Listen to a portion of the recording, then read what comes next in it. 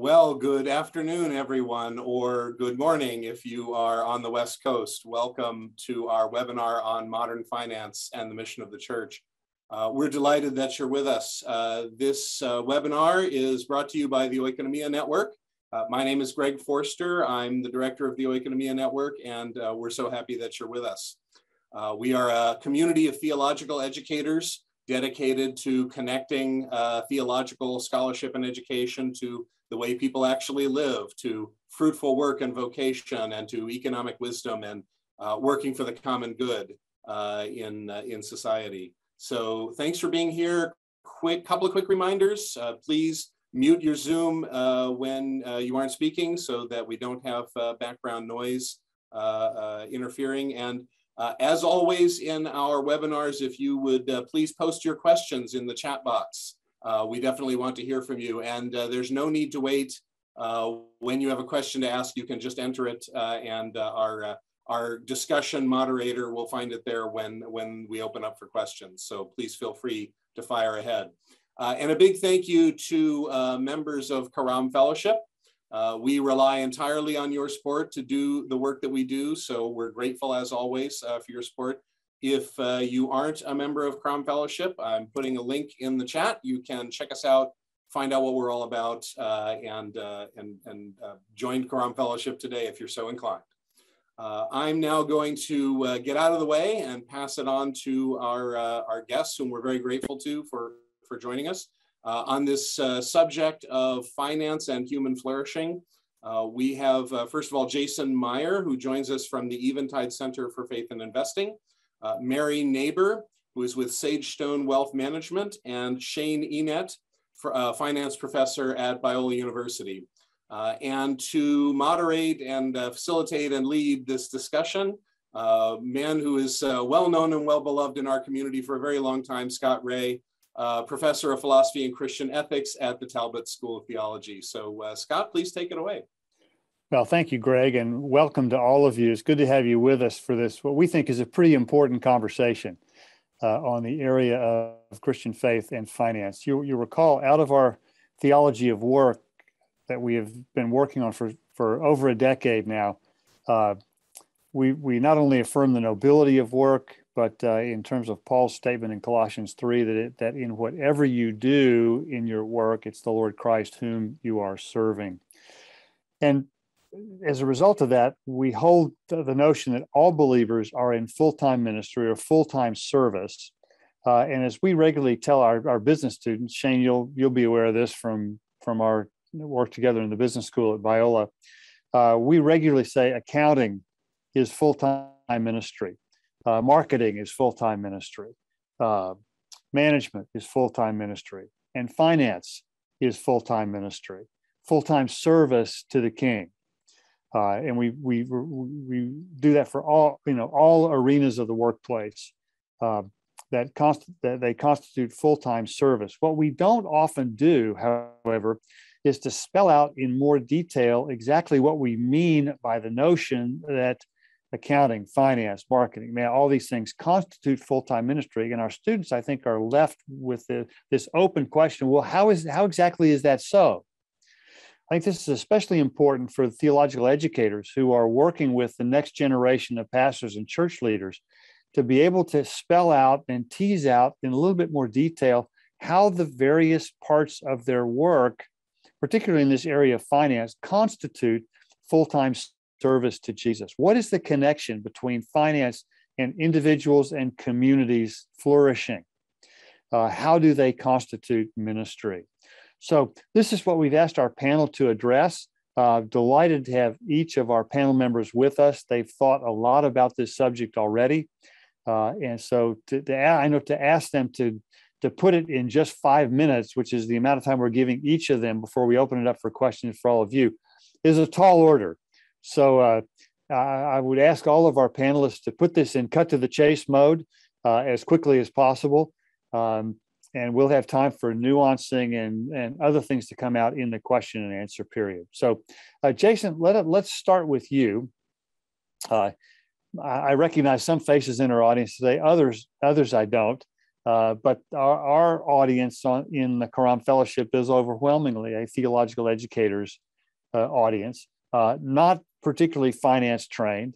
Uh, I mean, I majored in economics in college, but when I got to seminary, uh, I, I, knew nothing about the kind of the kind of financial markets and management that is required today. so most of our folks are not finance trained. Finance, I think, to them can seem somewhat overwhelming and maybe even a bit intimidating with the focus on numbers, formulas, algorithms, all of that. So you get, Jason, you get the task of introducing our, our group to sort of a, a quick and uh, easy, hopefully easy view of Finance 101. Uh, what do they need to know about the world of finance to enter this discussion well? Great. Uh, well, it's uh, yeah, great to be with everyone and to spend time with such a distinguished audience. I am a visual person, and I think visuals are helpful in answering my task here. So, uh, I like to ask people what they see in their mind when they think about it, modern finance or investing today. I think for a lot of us, it can look like this: reports with exotic metrics like alpha, beta, r squared Sharpe ratio, Sortino ratio, et cetera. We see streaming ticker symbols. We think about talking heads on some news program reporting on the latest breaking news in the market, charts with zigzagging lines, Wall Street and its traders shouting orders over the den of the stock exchanges. I call all of these images the financial machinery of investing that really surrounds investing today. And we look at this stuff and we think we need to uh, advance training in, in finance in order to make sense of it, let alone bring our faith into the picture. But the good news is that if we can get behind all of this financial machinery, investing is actually something very ordinary and transparent and easy to understand. In fact, when we see investing clearly, we can clearly see, I think, how our faith begins to make connections. Lots of areas of our brain will start lighting up. So let me share with you what I think that is. I think that at its most basic level, investing involves a supply of capital to support business in exchange for the rights to receive profits and growth. It really is this simple. Now, of course, we're not investing in buildings. When we think of a business, this is a management team and relationships with customers, employees, suppliers, communities, the environment, and wider society. This is what investing is today. Now, there is complexity because although this is at the bottom of it, we can often not invest in companies directly, but rather buy securities on the stock exchanges or secondary markets. Uh, many of us don't pick those securities. We're investing in funds where we've hired a fund manager to pick these securities for us. Some of us work with financial advisors who pick the funds that then pick the securities. And many financial advisors today are increasingly using uh, what's called model allocations, where the funds they're choosing are actually chosen by another group. And so there's a lot of different parties at play here. But none of this stuff changes the fundamental relationship to investing, which is this. Now, I want to say a word on our topic about how the stuff of business and the stuff of investing actually contributes to the flourishing of the world, God's world. So let me share a couple of thoughts and we can continue it in the conversation subsequently. Um, I like a statement that comes from Jeff Van Duzer, who was at Seattle Pacific University uh, in his book, Why Business Matters to God. He says God's mission state for business could be put this way Number one, to provide a community with goods and services to enable it to flourish and to provide opportunities for meaningful work that will allow employees to express their God given creativity. This is a, a, little bit of the same. He says one goal is focused outward, providing goods and services that enhance the quality of life. One goal focuses inward, creating opportunities for individuals within the company to express their vocation and performance of God glorifying work. There are others who agree. I'll share one more quote with you. This is from Craig Bartholomew the Kirby Laing Center for Public Theology in the UK. He says the first question is What is the creational design or characteristic responsibility of business? Business is to love one's neighbor by providing goods and services in a just and stewardly manner. So we see that external purpose goods and services, as well as that internal purpose, make them in a just and stewardly way as you interact in this human community and with creation. Uh, what about the profit piece? uh, well, we shouldn't denigrate the profit piece. I like this quote from uh, this is Bonnie Wurzbacher, who was a former executive at Coca Cola and World Vision. She says, as the sole source of wealth creation in the world, business enables every other social, civic, and even spiritual institution to exist. Uh, in economic terms, we would say that all other institutions are funded by wealth that was first created by business. Business, therefore, uh, provides the material foundation that undergirds human flourishing and uniquely demonstrates God's attribute of provision for creation.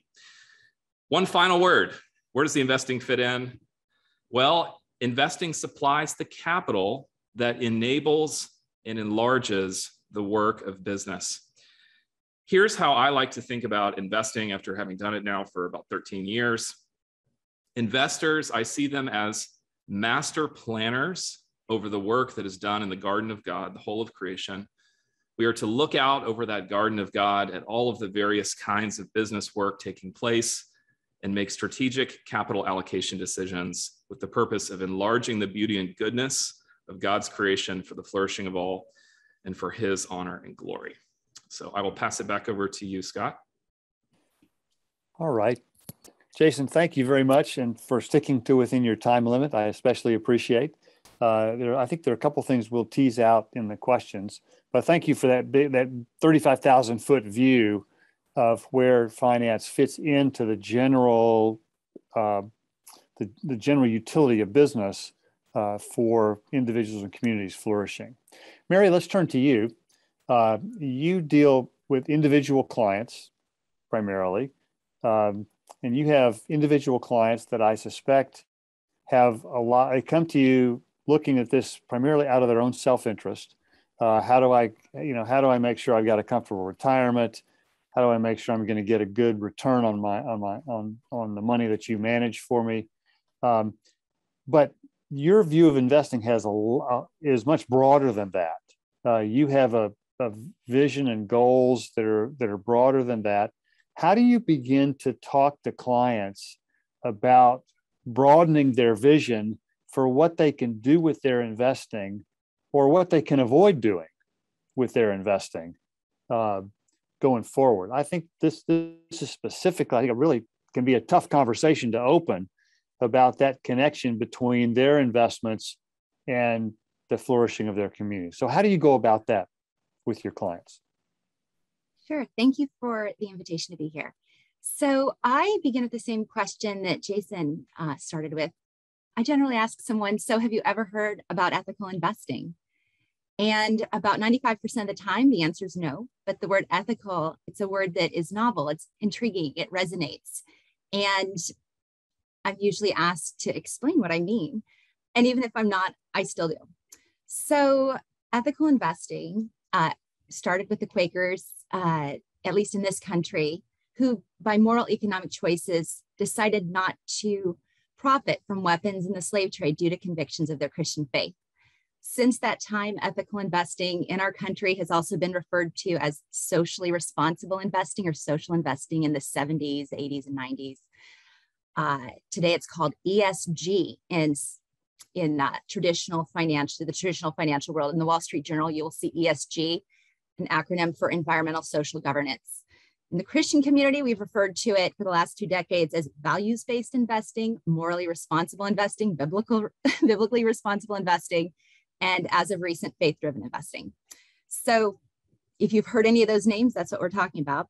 Ethical investing is the thoughtful consideration of faith and ethics in our personal investment decisions. And, uh, and so traditionally it's broken down into three facets. Uh, the first facet, the most widely practiced facet, is that of portfolio screening. So if you were to look at a portfolio, your own portfolio of individual stocks, whether it's at Schwab or TD Ameritrade, you look at your individual stocks and look to see are there companies that I am a co owner of that are profiting in ways that um, hurt my neighbor, harm my neighbor, appeal to their weaknesses and addictions, lead them to sin. So some of those companies in the Christian community have been companies profiting from abortion, pornography, tobacco, gambling.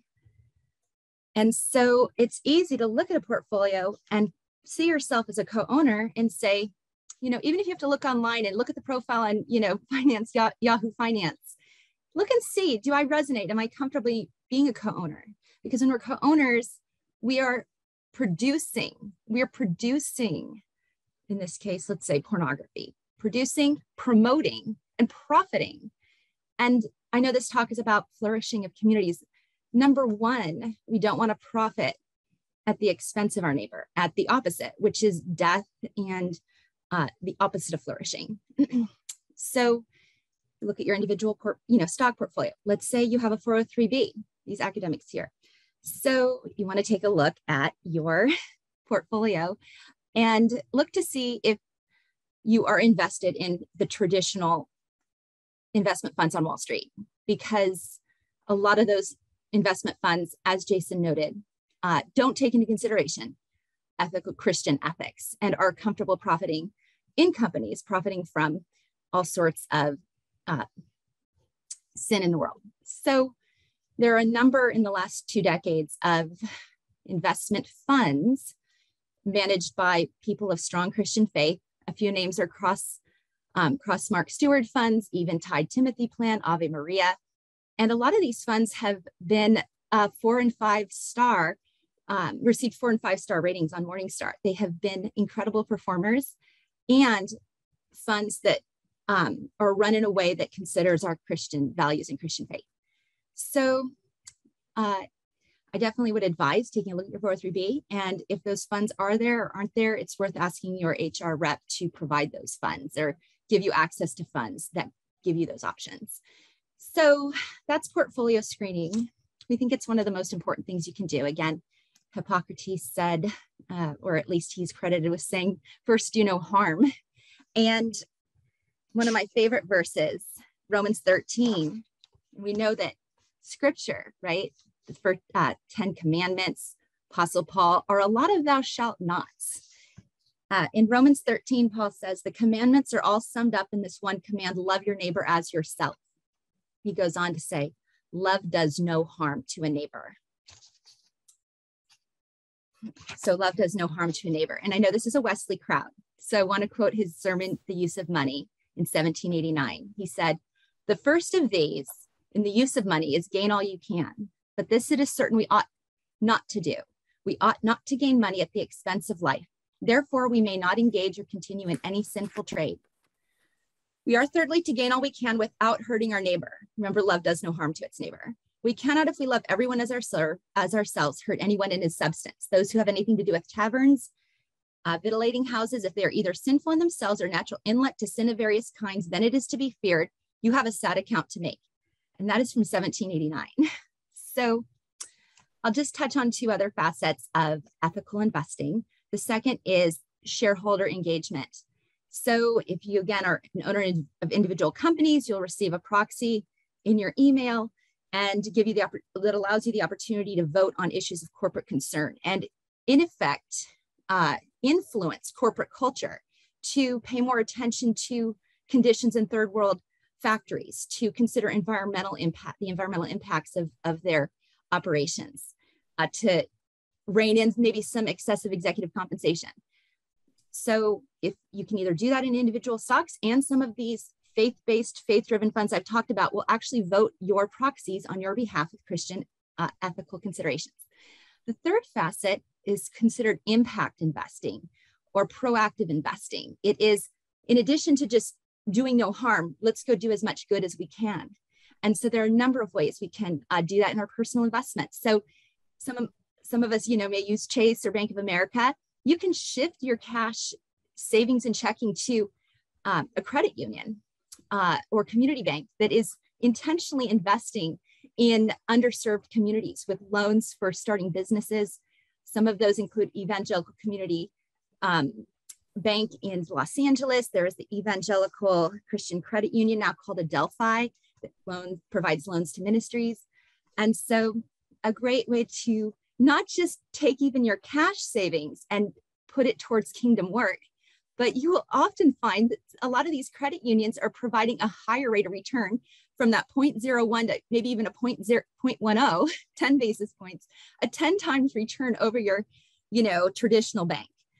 Uh, other forms of impact investing include investing in films or art, private placements, uh, real estate regeneration, business uh, buildings, uh, residential buildings that are also furthering the kingdom of God, whether they are places of ministry or serving the kingdom in other ways, and social venture capital for accredited investors, and then just general proactive screening, looking for publicly traded companies that are furthering human flourishing.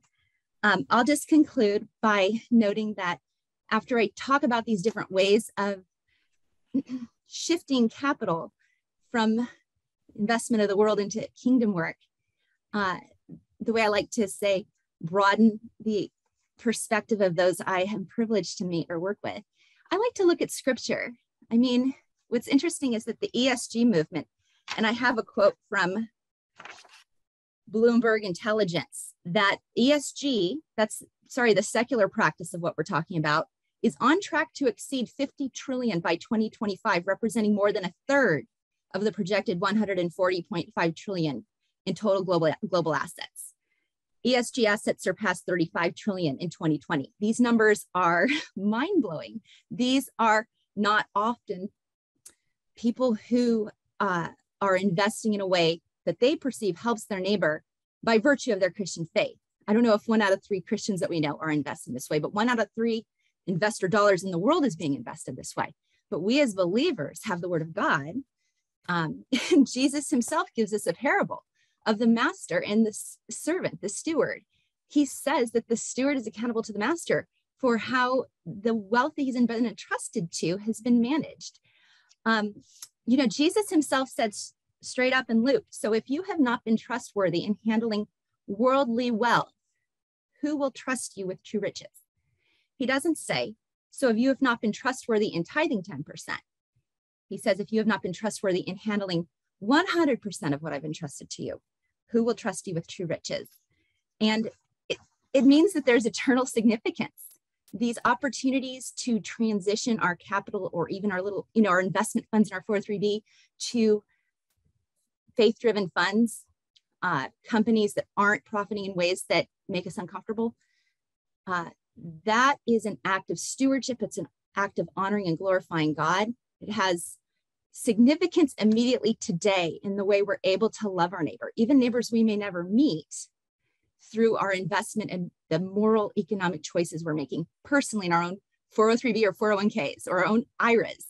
We're loving our neighbor tangibly today. We're loving God today. And he says we have uh, the opportunity to um, handle perhaps, you know, eternal treasures, true treasures tomorrow. Great. Thanks, Mary. Thanks for your perspective on that. Shane, let me turn to you. Uh, how do you connect finance and investing to the mission of the kingdom? Uh, yeah. I, and I'm specifically interested in how you how you envision finance serving traditionally underserved communities and yeah. contributes to their flourishing. So finance, you know, as Jason mentioned, is this beautiful picture of uh, people who have money contributing to people who have great ideas uh, for products and services that enable human flourishing. And the practice of finance is this uh, process of developing tools and structures and products uh, that help uh, match people. And so if you can imagine someone, uh, it, there was a story of a, a young boy in, um, in Nigeria who had just a cell phone and late at night, uh, he wanted to help solve a problem where people didn't have enough water to, to have for hygiene for washing their hands. And so he actually spent a month uh, learning the uh, chemistry and chemical processes, and he developed a product that allowed people to completely be hygienic with um, chemical, uh, you know, kind of a gel that didn't require water. And he did this all late at night on his little cell phone, learning this. Uh, and so he has this great product idea that would serve his community well. Uh, but in order for that to go out into the community, it needs, it requires capital, it requires money. Uh, and finance really is this neat endeavor where how do we match how do we match people who have these incredible ideas, who have this incredible passion for serving, uh, with the people who have the money? And so, uh, finance in the beginning has always been conceived as a as a bank, you know, where uh, everyone kind of puts their money into the bank. The bank, uh, you know, gives a certain amount of interest for access to that capital, and then is the gatekeeper that then sends the money out into the community. But unfortunately, a traditional banking model creates a huge swath of underserved people in the community just because there's a limited amount of gatekeepers and there's limited access to those gatekeepers. And I think there's just been this neat movement that we've seen in culture, really brought on by technology, that has allowed uh, the the access to capital grow and grow and grow. Um, you know, and there's been inventions that have really pushed things forward.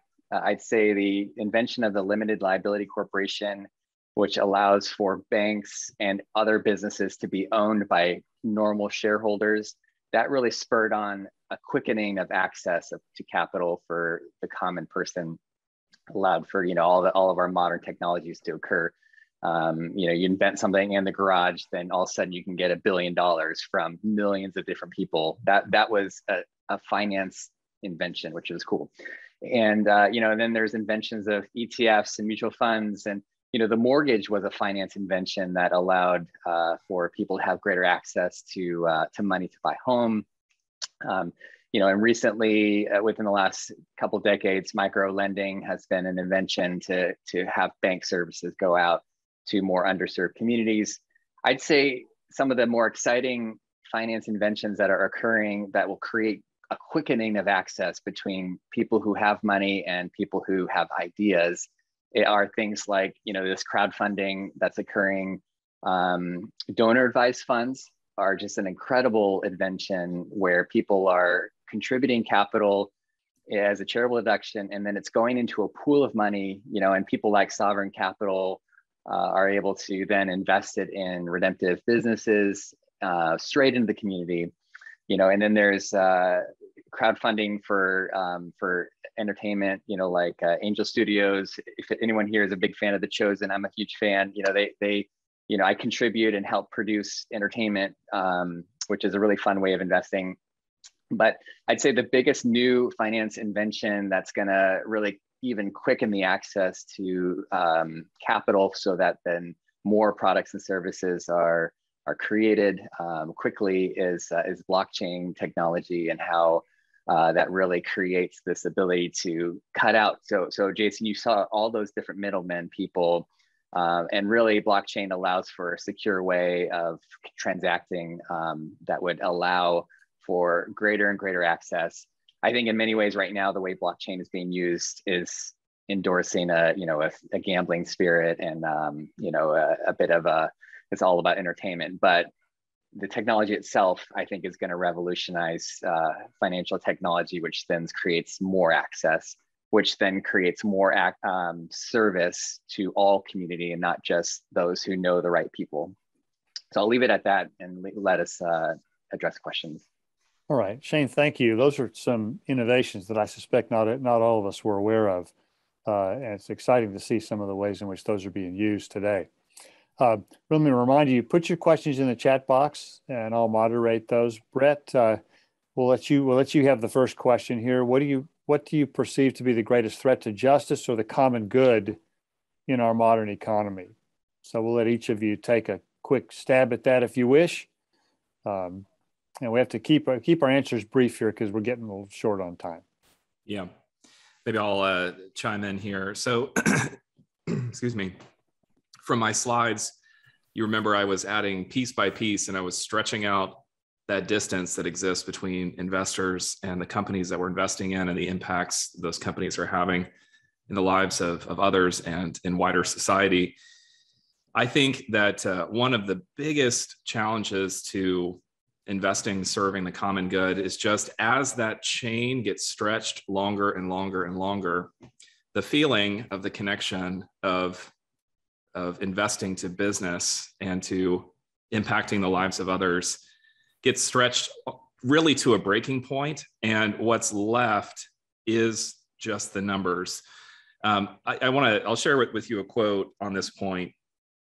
I was in a the Morningstar Conference, which is one of the largest investing conferences in the world. This was a few years ago. It was a plenary session. I was listening to a very famous fund manager, a person named Cliff Asness, uh, who went to the Chicago School of Economics, very well respected figure, brilliant.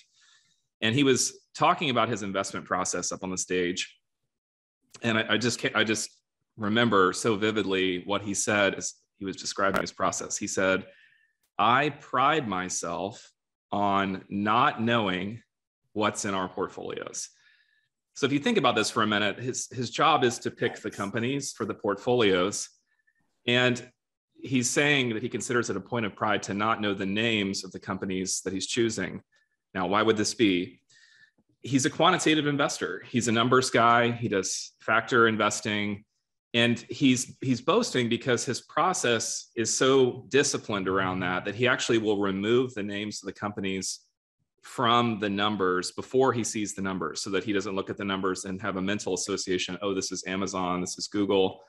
He wants to make purely rational decisions on the basis of those numbers. I remember looking around the room just to see how his comment registered on the faces of the audience and there was great admiration and on the one hand, I think we can admire that level of discipline in one's process, but haven't we lost something really important when we've completely removed the loathsome corporeal business stuff of investing and just made it this kind of math problem to solve for the purpose of maximizing returns? And so I really do think, I know this is maybe a dodge on the question, but I do think the biggest challenge to uh, serving the common good through through modern finance is if we sever the connection to human beings and treat finance as just solving a big equation where all the decisions are come down to essentially how do we maximize risk adjusted returns rather than engaging in that real human discernment about what is good for the world and what is fitting with the beauty and goodness of creation Great. Thanks, Jason. Any, uh, Mary, Shane, you want to weigh in on that? Uh, the word that came to mind was uh, Christian ignorance. It just came to mind. So, what do I mean by that? Uh, I can certainly say I was not incredibly familiar with the financial markets until I got to college. So, high school let us down. None of us got a financial course, and some of us did end up in that field. But I think uh, it's pretty conclusive in scripture that God says we all have uh, a responsibility in accounting, which means we must all have capacity to move beyond the numbers and look at really what are we capitalizing? What are we participating in as co-owners? It, it's actually, I have found the act of looking at one's financial portfolio on our client's behalf, for example, or friends, is that by taking what we know and is true to our own hearts, uh, our love for for God and our love for our neighbor, that we're taking something that we already are very confident in, and it's a bridge. It's a bridge. Now, the this uh, you know stock has meaning and significance because I'm looking at it from the eyes of the love of God and the love of my neighbor and and so so we can use our ethical screening or ethical perspective as a bridge into this world and um, i say that because you know what the esg movement is absolutely on the move like i said it's expected to make up a third of uh, investor dollars so it is helping our common good and modern economy uh, the secular world is doing that. I think if we're doing it apart from God, apart from honoring Him, what is the eternal significance? What does that mean to God? I mean, He truly desires for all of us in the global economy to love our neighbor. But uh, it's he's honored when we're doing it from you know from a love and relationship with him. I'll just throw one other uh, example in there shareholder action.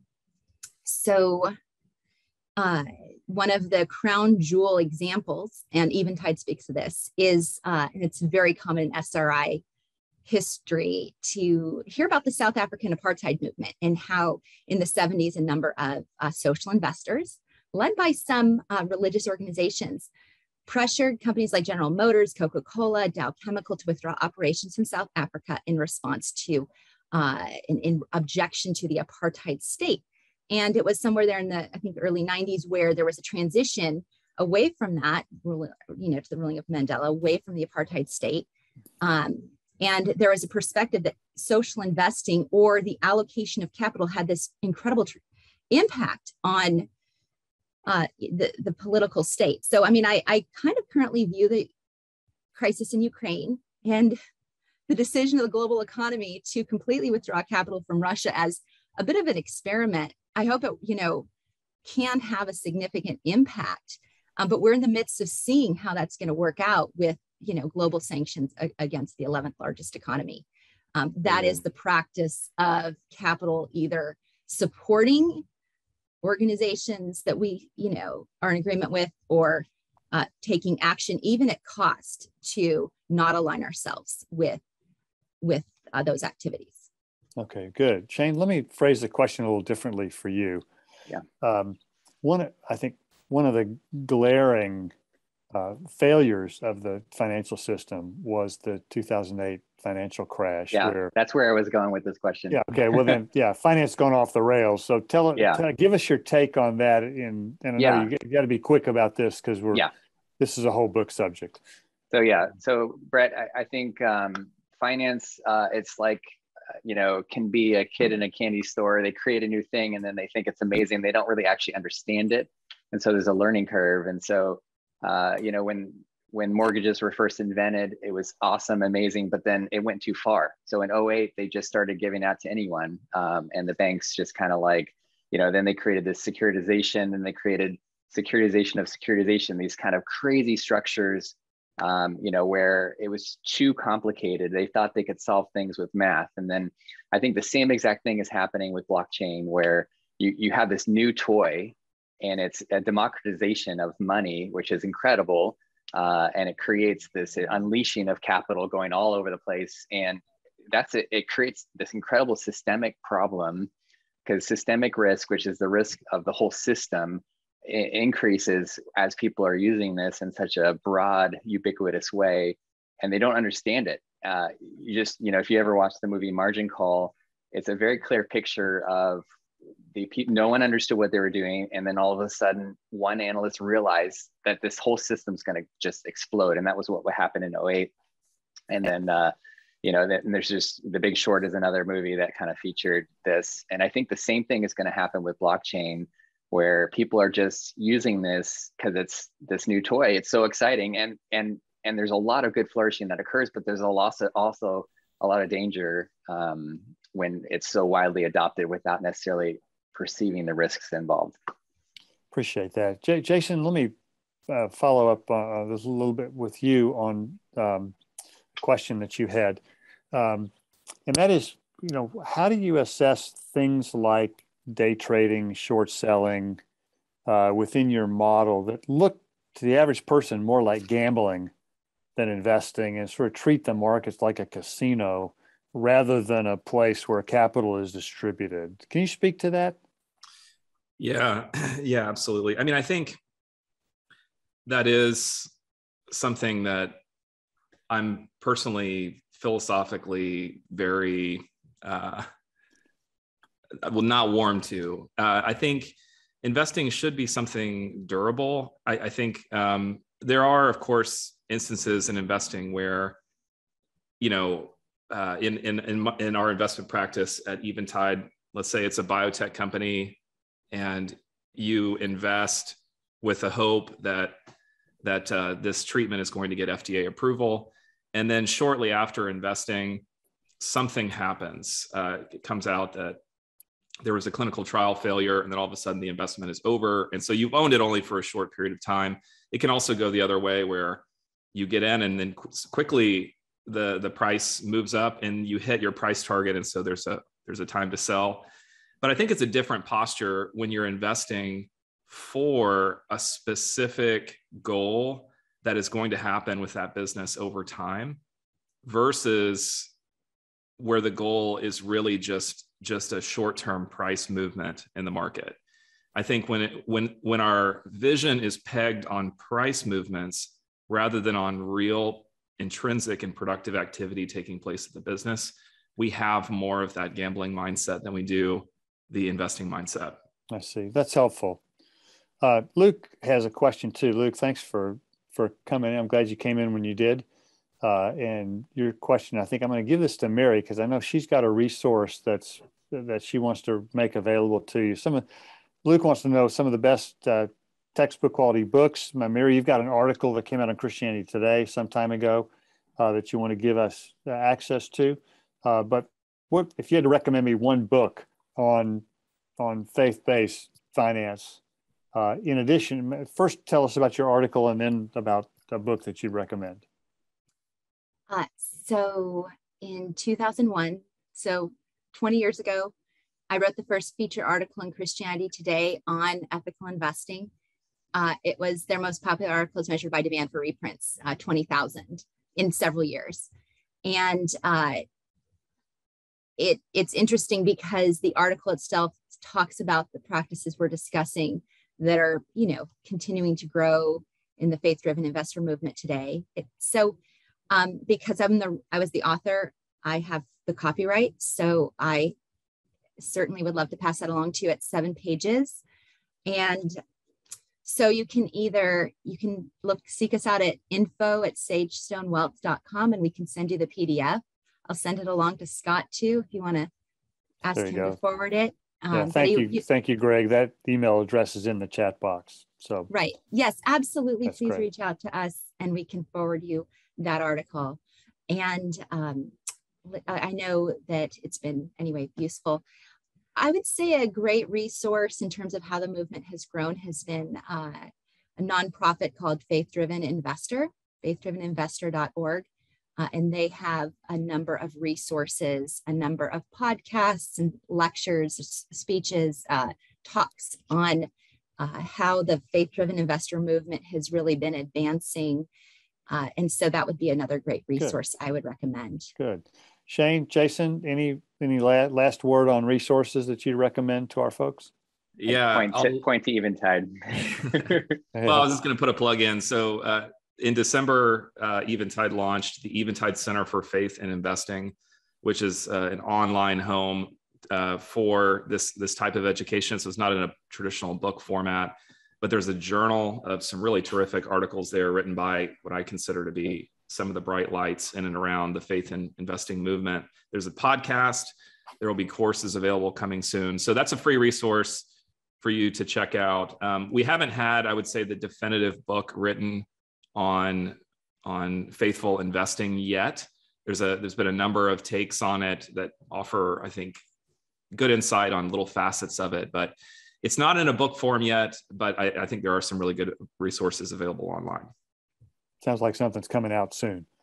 Um, I, don't, I don't have plans on it yet, but uh, hopefully someone someone does it soon. Well, that's great. and Greg, thank you for putting into the chat box the both both the the email the email address for uh, for Mary's organization and for the faithandinvesting.com, which is the Eventide site.